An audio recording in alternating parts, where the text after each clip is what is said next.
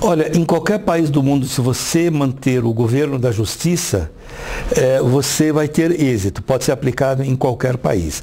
Mas quando eu digo justiça, é, eu digo assim, pessoas, você dizimar a fome, você dá acesso à educação, você dá acesso à saúde, você fazer com que as pessoas possam se vestir, morar bem, se alimentar bem. Isto é justiça. É, eu já fiz viagens para o Irã, é, é, todas para congresso e para pesquisa. E você chegando no Irã, você se impacta, porque nós ouvimos uma coisa, você chega lá, você é, se impacta porque não é aquilo que nós estamos ouvindo. É uma cultura muito diferente da nossa, é uma cultura que tem valores próprios, são milenares, senão não podemos esquecer que o Irã é a Pérsia e o mundo é, persa é, é, um mundo rico em cultura, mundo antigo. É, eu, assim, com toda a sinceridade, no Irã, eu não vi, por exemplo, é raro você ver alguém pedindo alguma coisa na rua.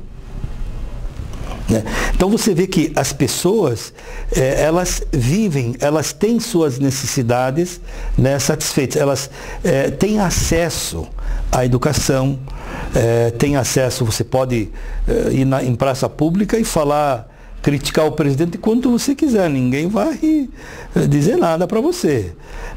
Você tem liberdade de expressão. Agora, oposição existe em qualquer lugar do mundo. Nós aqui, estamos acostumados a ver só o lado da oposição.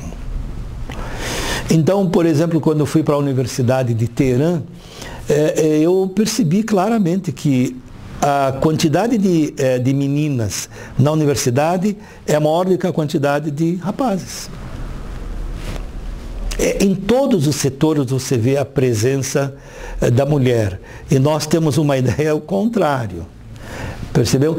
Então, é, é, eu não conheci o Irã é, na época do chá, mas historicamente falando, eu, os livros estão aí para relatar, diz que no tempo do chá, apesar de toda riqueza, havia fome no Irã. Havia uma distribuição de renda muitíssimo é, é, diferenciada. Quer dizer, uma parte do país vivia e a outra não vivia.